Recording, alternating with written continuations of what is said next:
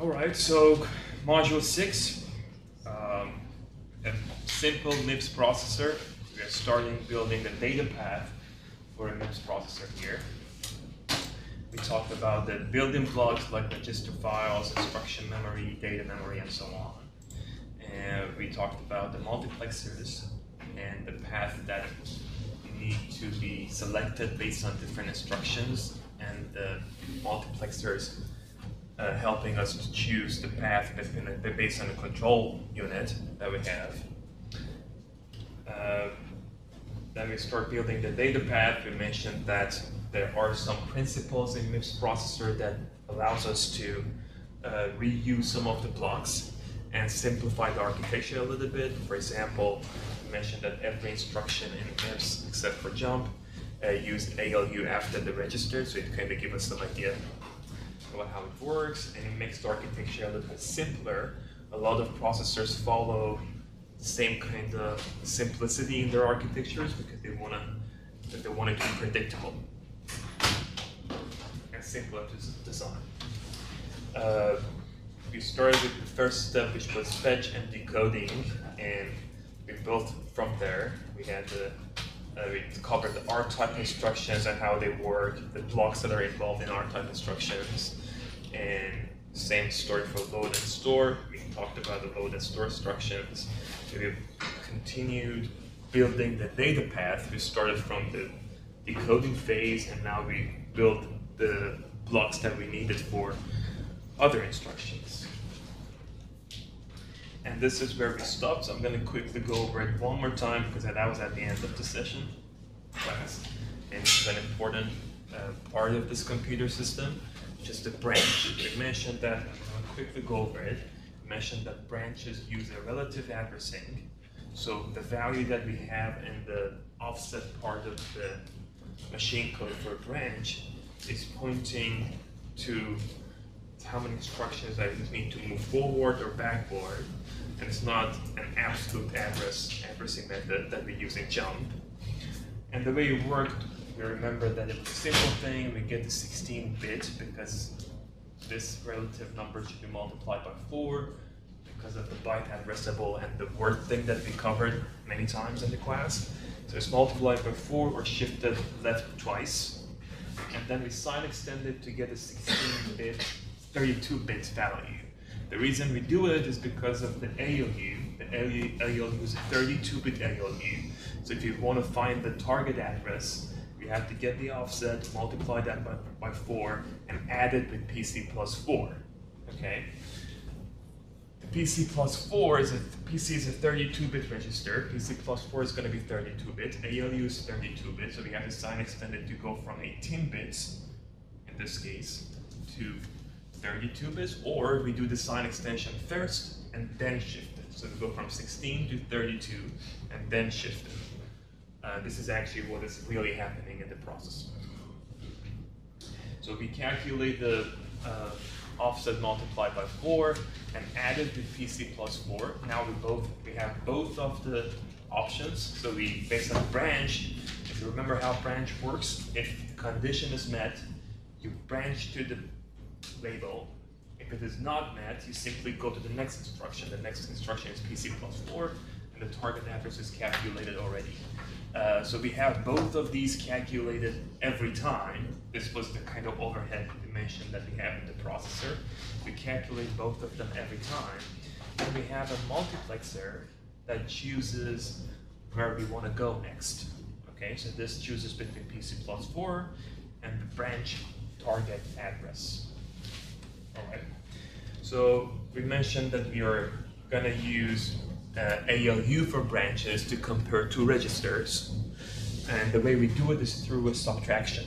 So if you have a BE, BEQ, which is branch equal, BEQ T0 and T1, we actually subtract T0 and T1. And if the result is zero, it means that they're equal. If it's not zero, it means that they're not equal. Okay?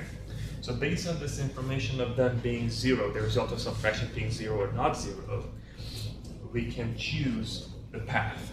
That multiplexer that we talked about here is gonna use this zero flag to choose between these two different paths, okay? So the ALU operation that we have here is subtraction for branch. This is the part that I mentioned that you know when we were explaining this, we do both of them at the same time, so you don't know which one happens first. The processor actually would go from 16-bit to 32-bit always, and then we shift it left twice or multiplied by 4. It's the same thing. Okay. And the zero flag is what we use to choose the path. How do we generate the zero flags? Through a NOR gate.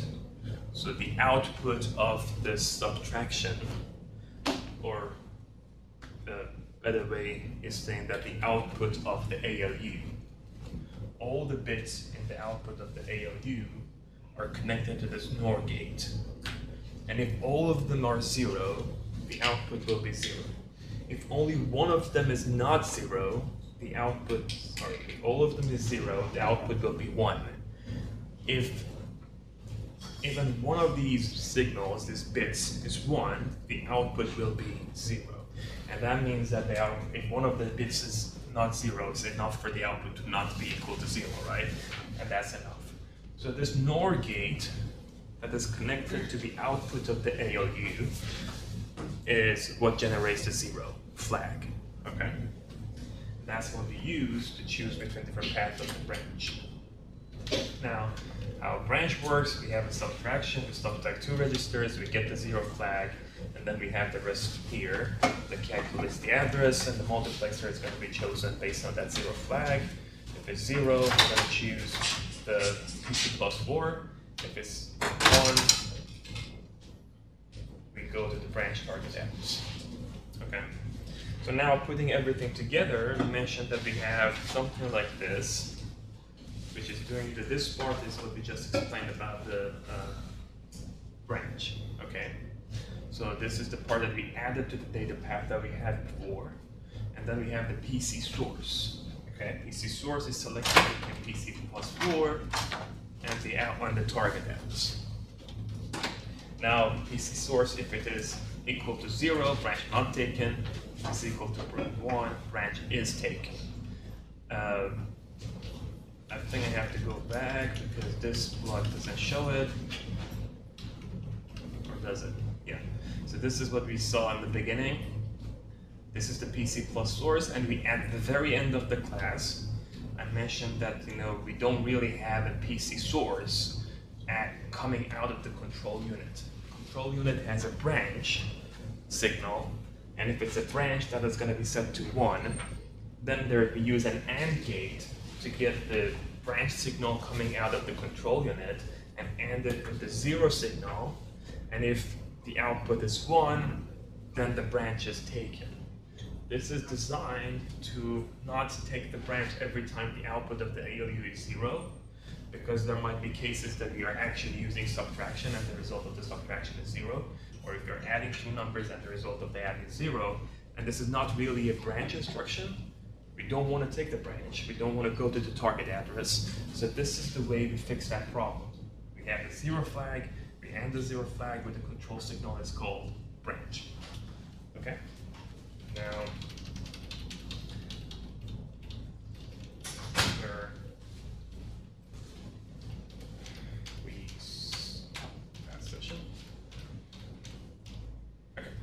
now let's take it from here.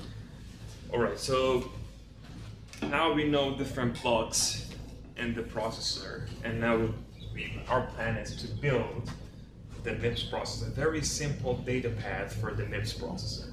One of the most important things that you need to know about this data path is how ALU works. Okay, so we have, uh, we support these ALU operations in this simple data path, as we mentioned, the simple architecture. We support AND, OR, add, subtract, set less than, NOR. Okay, so right here, I give you a hint.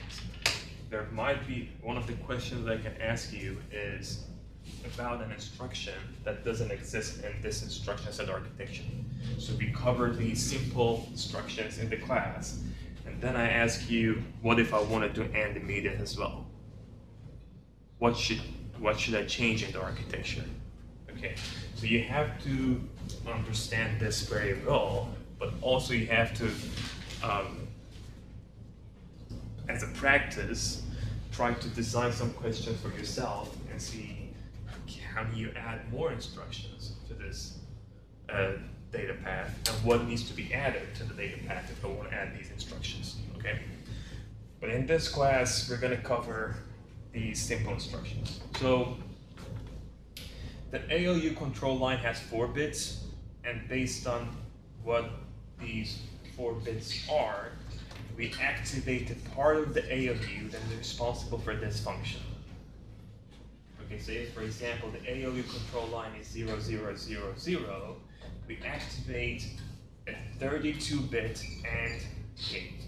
So we have 32 ANDs here, and it does a bitwise AND. Okay, we have OR gates, add, subtraction, set less than, and NOR. Okay. So now, how do we use ALU for load word and store word instructions? We use ALU to calculate the target, uh, the memory address, and for that we use an addition.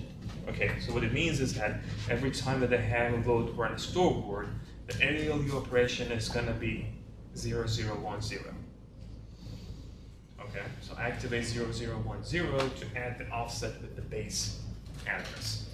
If I have R-type instruction, R-type instructions, these guys are all R-type instructions, so they have different ALU signals. So depending on what kind of instruction you want to execute, you have to send this control lines to the ALU. And for branch equal, we have subtraction. Okay, so whenever we have a branch equal instruction, the ALU operation signal should be 0110. Okay. So this is the control uh, signal, control lines. But how does it really work? We have two-step uh, signal generation, right? We have the input of the function field, and then we have the ALU OP. So ALU operation has two bits, and then we have six bits coming from the function field of the machine code. Okay. And the output is going to be the four bit that is connected to the ALU itself. Now we know how these four bits should be set based on this slide to get those instructions. Now we want to see how we generate these four bits based on this information. Okay, the six bit is coming from the machine code. Know that on the function field. And then we have the ALU OP coming from the control unit. So now, control unit doesn't need to generate four signals, it just needs to generate two signals, okay? We just have two lines. With two lines, we can have, we can cover the entire operation that you want to do in the processor. Uh, so this is how we save a few lines, because the function field already exists there. Okay? So now, if you look at this table here, we have a 2-bit control field coming out of the control unit in the processor. If the ALU OP is 0, 0, we have a load word or store word instruction. Okay, so when it comes here, it's a load word and a store word. Then we ignore the function field. This x that we see is no, we don't care. Okay, so every time that we don't care about the signal, we put x. So we don't care about the function field. When it's ALUOP 0, 0, we generate the output 0010. What does 0010 do? Addition. Every time that we have load word and store word, we want to add the base address with the offset. So we just check the ALU OP, we don't care about the function field. And we don't actually have a function field, right? If you have a load word and a store word, it's an I-type instruction, so I-type instructions don't even have a function field. That's why we ignore them, because the 6-bit is going to be part of the offset not the function field. Branch equal, same story. Branch equal uh, ALUOP is going to be 0, 1. This is going to be generated by the control unit. The operation is going to be 0, the ALU control input is going to be 0, 1, 1, 0. 0, 1, 1, 0 is a subtraction, which is exactly what we need. And we ignore the function field. Okay? So now if the ALUOP is 1, 0, it means that's an R-type instruction then we check the function field and generate the ALU control input based on the function field. Okay? So again, he says these are the signals coming from the ALU-OP from the control unit. Based on these two levels, ALU-OP and the function field, we generate the 4-bit ALU control input, and that controls the functionality of the ALU. Does that make sense? Okay. So now, we want to build the data path. This is where, if I jump to this block, and this is usually what a lot of people do when they teach the course, they start from this module. Okay? If I start with this module and you don't have a clear idea about decoding, we are literally going nowhere, right? Now you have a clear idea about how we do machine coding, how, how does encoding work, how does decoding work, right? Now, we want to build the data path from this machine code that we see here. Okay, so we can make some major observation that helps us to create a simpler data path between, based on this, these different machine codes that we can have in the MIPS processor. First observation is that the opcode field is always in bits 31 to 26. No matter what type of instruction we have, the opcode field is here. Okay. We'll see how, how we're going to use it. The next thing is that the two registers that we want to read are always in bits 25 to 21 and bits 20 to 16. So this you should be a little bit more careful. Sometimes RT is not the register that we want to read. Okay, that's a different statement. But if we want to read two registers, if we want to read two registers, they are always in bits. The address for those registers are always stored in bits 25 to 21 and 20 to 16. There are some cases that we don't want to read two registers. We deal with that in another way. Okay? But this is always a fact. The two registers, the address for two registers are there. Here, RS and RT are the addresses that we want to read to access those two registers. The base register for load word and store word, which is RS, is always in bits 25 and 20 to 21. Okay? The 16-bit offset for BEQ, load word, store word, add immediate, sub immediate. These are instructions that we're not covering now, but all of those instructions use the offset field, the constant field, and that is always bit 0 to 15 of the machine code. Okay? Now, the destination register, though, can be in two different places. The destination register can either be in bits 20 to 16 for load and store, or bits 15 and 11 for R-type instructions. Okay, so destination register can come from two different parts of the machine code. We already know that for cases like this, that we can potentially have two different paths. What do we use to fix that problem? Every time that we have two inputs or more than one input and just one output. So we have multiple paths and we want to select an output path from them. What do we use here? What's the point? It's a multiplexer. So right here we need a multiplexer to select the destination register based on the instruction. So we are saying that we are adding another control signal to the processor. Okay. Now let's go back to this data path that we had. This is the data path that we know by now. The only thing that is missing here is that the zero flag is connected to an AND gate and there's a branch here going to PC source. Okay. We're missing something else here too. So this is the data path. You tell me how it works So we have instruction memory, instructions coming from the instruction memory. Based on the information that we set, we, we can send some of the bits to read register 1 because we know that always, this is, this is the second point here, because the registers that we want to read are always in bits 25 to 21 and 20 to 16, what we can do here, we can always send the bit 25 to 21 here and 20 to 16 here. That we're sure of, no matter what. Even if we don't want to read two registers, this is another overhead.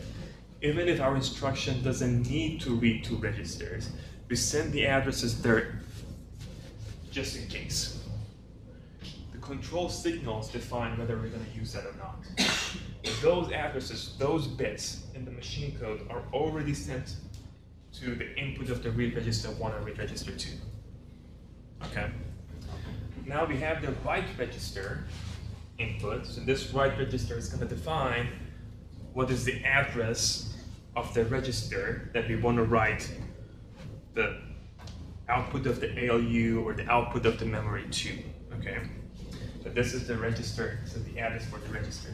This is the part that we said there might be some complications because this address is not always coming from a specific part of the machine code. Depending on the instruction, it can either come from bits 20 to 16 or bits 15 to 11. If it's a load word, the input of the write register is going to be bits 20 to 16. If it's a store, if it's the R-type instruction, the input is going to come from bits 15 to 11. So what it means that here is where I need a multiplexer. When I want to define the address of the register that I want to write to, I need a multiplexer choosing between different bits. Those bits are bits 20 to 16 or 15 to 11, depending on the instruction. Okay, the other thing that we're missing here is the ALU control block. Okay, this ALU control block we mentioned that is also coming from somewhere else. We had a 6-bit function field, we have a 2-bit ALU OP. We're not showing this in this data. Okay, so now let's see how the data path looks like if we include those. So this is the data path that includes everything that we just mentioned. There is a multiplexer here that chooses between bits 20 to 16 and bits from 15 to 11. Okay? This is the multiplexer that we just talked about. And this is the ALU control unit. So the input of the ALU control unit is the function field. The function field has bits 0 to 5 of the instruction, right? We know that from the decoding for the encoding module.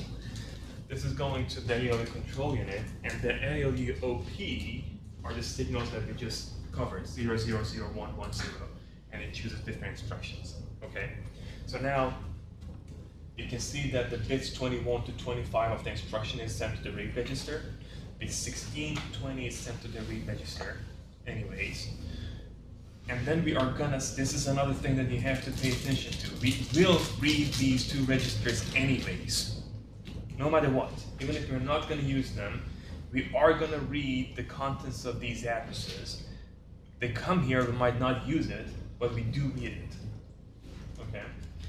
This is the cost of having a general purpose processor. Okay. Then we have, then for the write registers, we have two options. We either have bits 20 to 16 or 15 to 11 going to the multiplexer. This is another thing that we mentioned. The bits 0 to 15 is always the offset. So it doesn't matter what instruction we want to run, we do the sign extension, we do shift it by left twice, and we do calculate the branch target address even if we don't want to use it. We do it every time. Branch target address is calculated in the processor every time, no matter what. Then through this multiplexer, we decide whether we want to use that or we don't want to use it. Okay? This is the cost of having the general purpose processor. Okay? So bits 15, 0 to 15 are coming here anyways, and then we get bits 0 to 5 from this part, going to ALU control input, ALU OP, ALU operation, and so on. Okay, so what do we see here in terms of the signals? This is what we just added. So, okay. so these are all the signals that we are seeing here. Register write, register destination, ALU source. Some of these we already talked about. PC source, memory write, memory mem. This is something that we also talked about before. If you don't remember it, I'm going to mention it one more time this mem to this is the multiplexer that's going to choose what where the content of the register that we want to write to is coming from. Is if it's coming from memory, it's a load word instruction, we go this path. If it's an R-type instruction, we get the output of the ALU, and we choose zero for the multiplexer, and then we write this back to the right data. Okay. So now let's see how these signals work. Okay. What do we have here? We have register destination. Let's start from the first one. I'll take it from you. Can you see it? So register destination, if it's zero, it means that the write register is coming from RT, which is bits 20 to 16. If it's 1, it means that the write register address is coming from RD, which is bits 15 to 11. Register write is the next signal. Register write, if it's 0, we are not writing anything to the register file. Don't do anything. Okay. Register read if it's sorry, if it's, if it's one, then we write something to the register. We do want to write something to the register file. As you can see, we don't have a register read here. We always read the register file anyways, okay? So there's no signal to control the register read. ALU source is defining the second output, the second input of the ALU. If it is zero, the second input of the ALU is coming from the register file.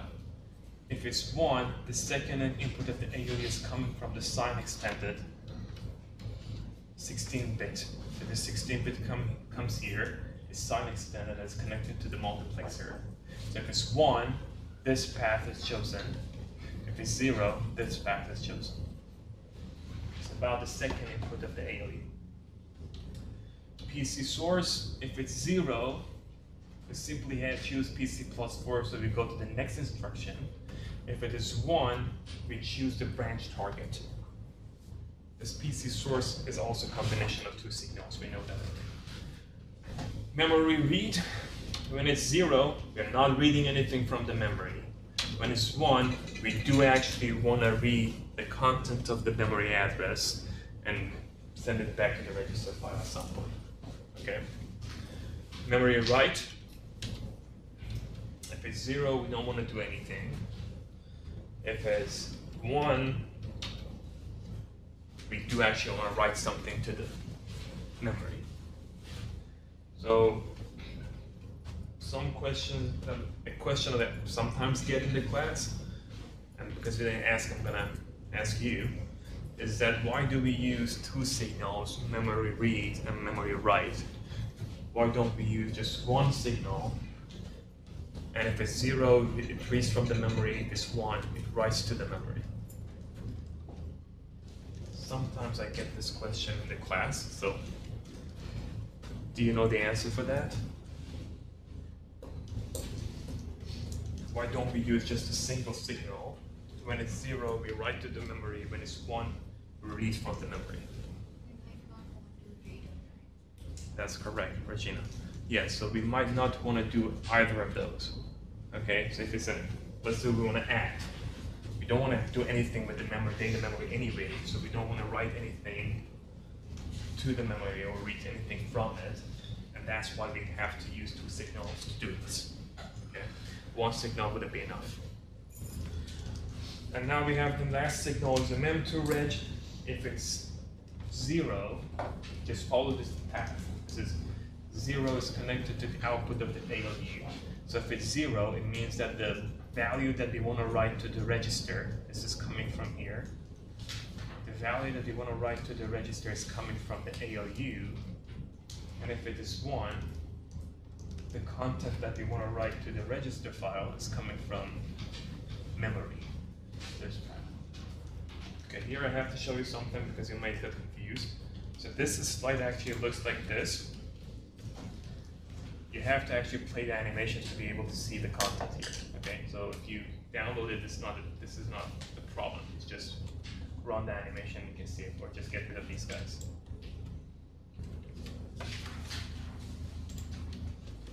All right. So so now let's see what it looks like. Have this is all the signals that we have here. We don't have a PC source and we already know it We don't need to ask you why because we talked about it. We have a branch signal and a zero signal. This generates the PC source. The PC source is not directly generated, but in a processor, in pretty much all every processor that we have, there's a control unit that controls the flow the flow of data. So sometimes uh, there are some research on data flow architecture and these kind of things, and they have uh, they focus on control units pretty much, but this is a very simple one. When you design, for example, TPUs, tensor processing units, data flow becomes way more complex, so you have to reorganize and do some scheduling as well. But this is what control unit does. It controls the, the flow of the data from input to output, okay, depending on the instruction that we have. The signals that we generate are register destinations, branch, memory read, memory mem to reg, OP, which is two bits, that's why it's a little bit thicker, it's two bits. Then we have memory write, ALU source, and register write. How do we define these signals? Just based on the opcode. That's the next thing that we use. If the instruction, the bits 31 to 26, that was the first rule. Opcode is always in bits 31 to 26. Based on the opcode, we can define all these signals. We just read the six bits and we generate those six, six signals. So I can ask you in the exam that I want to run this instruction. I can actually come up with an instruction which is not even in MIPS. I just explain what this instruction does. We are basically enhancing this instruction set architecture. So I can enhance the instructions instruction set architecture, and I give you a new instruction, I explain how it works, and I give you the data path. And then you generate the control signals for that new instruction that you haven't seen before. Okay? So now we have nine control signals, seven for, uh, we actually have eight signals here, but ALUOP has two bits, so we need nine bits to control this processor. Everything is based on the six-bit opcode. Now, let's practice this and see how the signals work.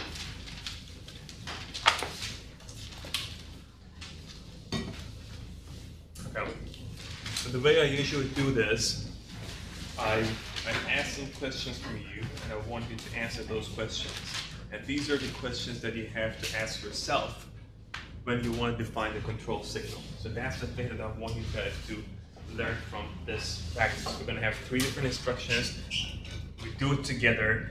Just pay attention to the questions that I ask. Because when I ask these questions, it's very easy for you to answer it, right? But if I'm not there to answer this question, you should ask these questions from yourself, okay?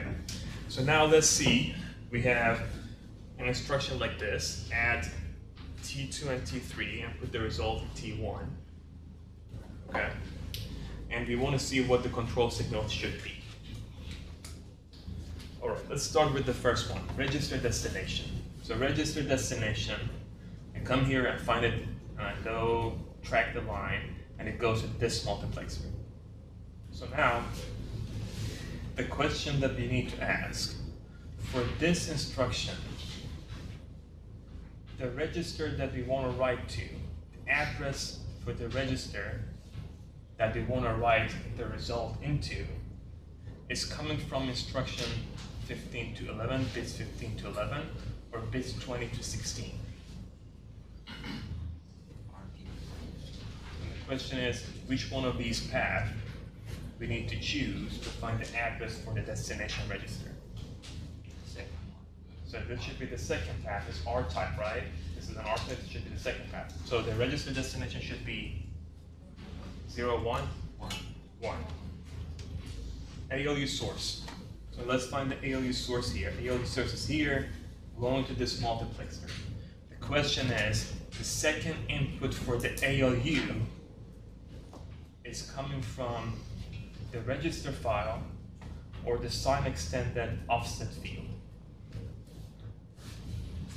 The second input for the ALU, is it coming from the register file based on this instruction or the sign extended offset field? It's coming from the register file. So ALU source should be zero. zero. The next one is mem to reg. Let's find the mem to reg. This goes to this multiplexer. So this multiplexer is either sending the output of the data memory to the register file or the output of the ALU to the register file. Okay, so now for this instruction, are we sending the output of the memory to the register file or the output of the ALU to the register file? ALU. ALU. So the multiplexer should be zero. Register write. For this instruction, are we writing anything to the register file? So register write would be one. Am I reading anything from the memory? This is the memory read, right? Am I reading anything from the memory of this instruction? No, so it's gonna be zero. Am I writing anything to the memory? Zero. Is it a branch instruction? No, zero.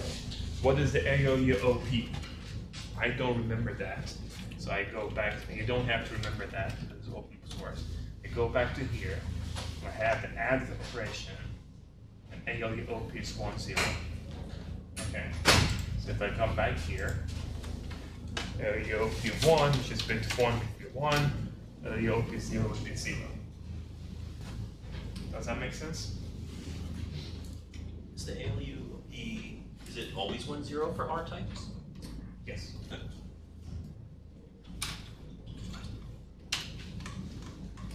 A load word. Register destination. It's coming from here. So we're basically choosing the address for the register that we want to write to. Is it coming from bits 20 to 16 or bits 15 to 11? 20 to 16. So register destination should be zero. ALU source, okay, that's a little bit,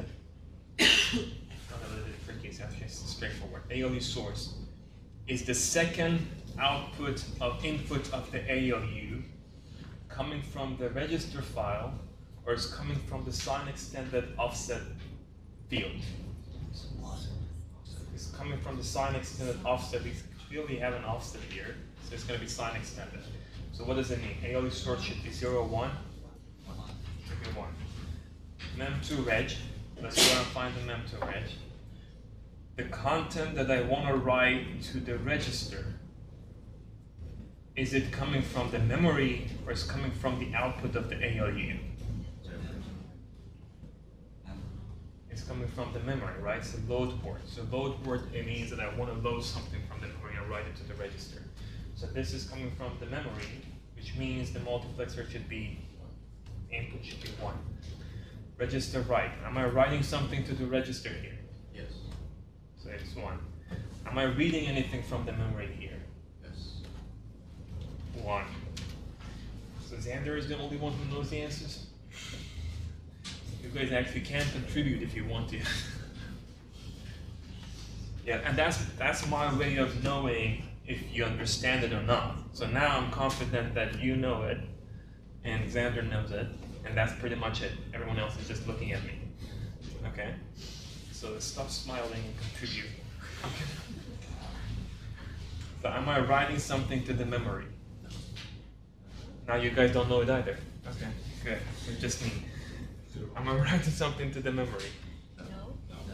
No. So it means that it's gonna be zero. Is it a branch instruction? It's not, thank you. Zero. ALUOP would be, again, don't, know- don't know it, but it's zero, zero if you go back to the table. Okay? Word. It's your chance to shine. So register destination is coming from here. So, store word, what does it mean? Word means that I want to get something from the register file and write it to the memory, to the data memory, right? Something, I calculate the address, get it from the register file, T1 is coming from the register file, and I store it in this memory address, right? Okay, so now let's start with the register destination. The question is, is the input, is the address for the register that I want to write to coming from bits 20 to 16 or is coming from bits 15 to 11? We don't need What was that?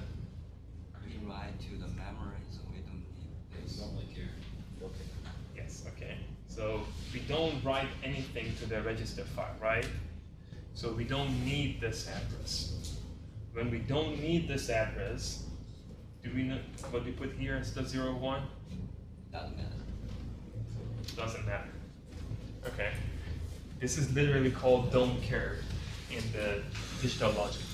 So we have base zero and one and don't care. So this is don't care bit. I don't care what it is. Okay? So ALU source. ALU source I followed here. The second input of the ALU, is it coming from the sign extended offset or it's coming from the register file? It's coming from the offset, the sign extended offset, which means the ALU source would be one. Mem2 reg, mem2 reg is here. Is the content of the value that I want to write back to the register file coming from memory or is coming from the ALU? ALU? And you say memory, right? Yeah. We have two answers, ALU and memory. Who thinks it doesn't matter, right? So, louder, right? That was the correct answer. So we don't care. We're not writing anything back to the memory, right? The register right. Am I writing anything to the register? No. Do we care about this one? No. So we don't care about this one, right? But we actually do care about this one. Right? Because we are not writing anything to the register file, right? So we do care about it. It's zero. Don't write anything to the register file. Right? So memory read. Am I reading anything from the memory? No. No. Do we care about it? Yes. Yes, we do care about it. We don't want to read anything. Am I right? Am I writing anything to the memory? Yes. One. Is it a branch? No. ALUOP. I don't know it, but that table, I believe in that table. So it's zero zero. Go and check it. Okay. The last one. branch equal. So register destination. Branch equal, we compare these two registers and jump to a label. That's how the instruction works. So AO register destination is the first one. It's the address of the register that I want to write to coming from bits 20 to 16 or bits 15 to 11? We don't care. Okay.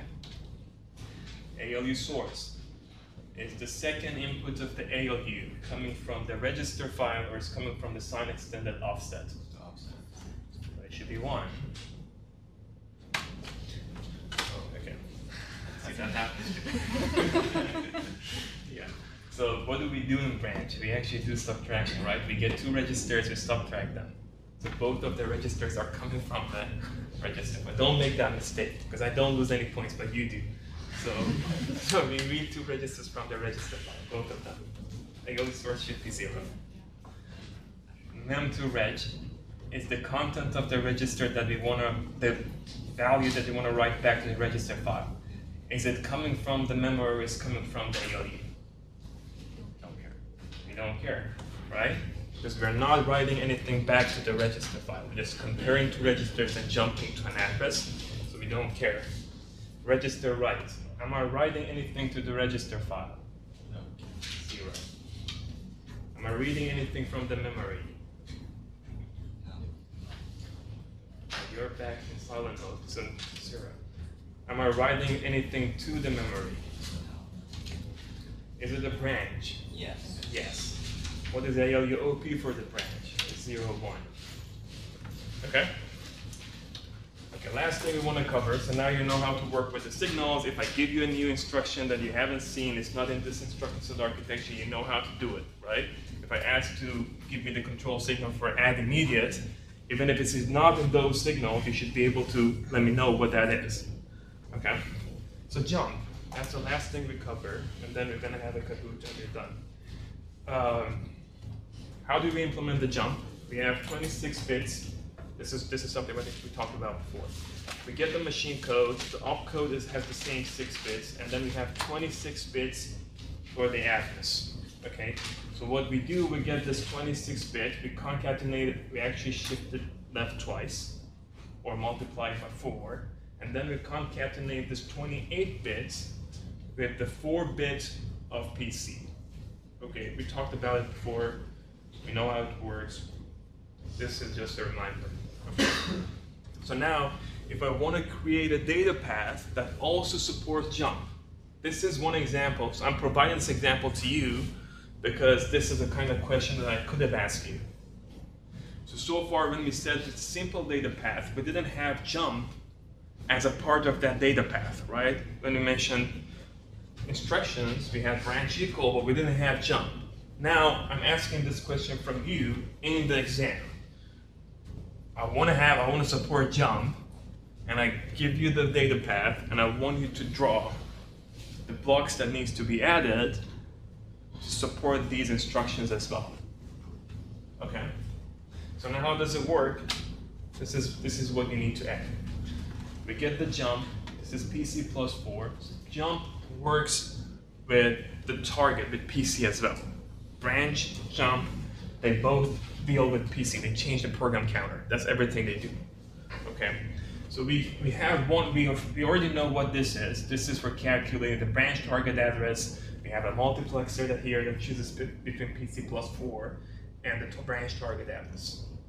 Okay, but now what we need to do is, based on what we have here, we get the 26 bit, we shift it left twice, and concatenate it with the most significant 4 bits of the PC. So instruction 0 to 25 is coming here.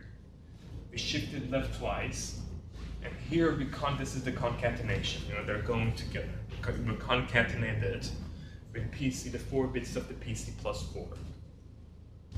Okay? So PC is usually a very, it's not, that we can't really have too many instructions. So it doesn't really matter if you use the, that's why it is designed this way in the data path. It doesn't really matter if you use the four bits of the PC or the four bits of the PC plus four because the most significant four bits are so big that probably you're never to get to that point with your code. And even if you get, you're to get an error. If you have like a super, like these weird errors that you get sometimes in your code, I, I, I really doubt that any of you had this problem before because you should have a really large code, like really large code.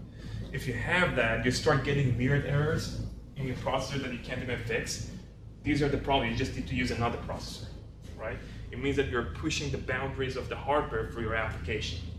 So we do research on edge computing, and every day we get to this problem. Now I have a student who is working on small devices, and when they want to run really large machine learning models on those really small devices, we get really weird errors you know, because we actually push the boundaries of hardware. Okay, but I don't believe that any of you I want to judge you, but I think like at this point of the education, probably you never got to a point that you really push it, unless, you know, unless you're working in a research team that is doing research on these areas. That you push the boundaries of hardware to a point that you can actually deploy a workload on it. But if you do, then you're gonna have a problem.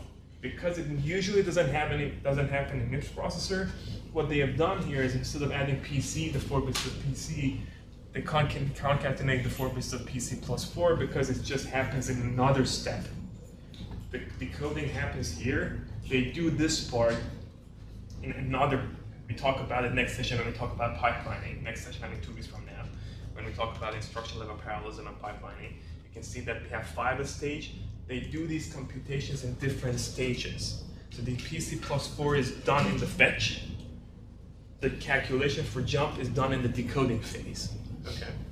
So we, we, in, uh, we concatenate the four most significant bits of the PC with the instruction 0 to instruction bits 0 to 25 that are shifted twice to get the jump address. Now this goes to a multiplexer as you can see here.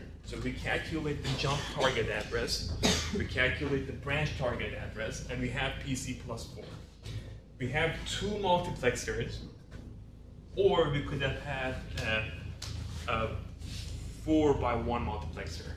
That could have been done too, three by one multiplexer. But here, instead of using that, they use two different multiplexers. So the first multiplexer chooses between PC plus four, which is the next instruction, and the branch target address. The next multiplexer chooses between the jump target address and whatever is coming out of this multiplexer. Right? And then we have we have to add a signal that is called jump to choose if it's a jump instruction based on the opcode, it's going to activate this back. So now if you want to go to your next instruction to PC plus 4, you should have this multiplexer set to 0 and this multiplexer set to 0 as well. If you want to go to the branch target address, you have to have this multiplexer set to 1 and this multiplexer to set to 0. If you want to jump, you don't care about what is happening here, and you just choose 1. Does that make sense? Okay, so that was it. We have a good idea about a very basic MIPS processor and how it works. The next module is going to be a little bit more advanced topics. This is this is called the single cycle processor. Okay, so the entire computation happens in one clock cycle. Okay, it's a little bit weird, but it does happen in one clock cycle. It's called combinational circuit. So you apply the inputs, this five stage happens in one clock, and then you read the output, but your clock should be pretty long to give it enough time to do the entire computation. Next module, we talk about multi-cycle processors that that have pipelining, and then you can have like five instructions that run five instructions at the same time, and so on. So this module is done. Let's do the. Oh, go ahead. So how do you find the ALU op of like an instruction that we're not given in the slides? How do you, so you can assume that if it's, for example, so this load word and store word and these are I-type instructions, right? So you can think of it as I-type instructions Okay. and So they should be similar based on their type. yes. Okay. Yeah, but that's that's a really good question. So ALU op should be something that I provide to you. Uh, because when you have a branch, for example, load word and store word is different from branch, but all of them are I-type, right? Yeah. So what I just said is not very accurate either.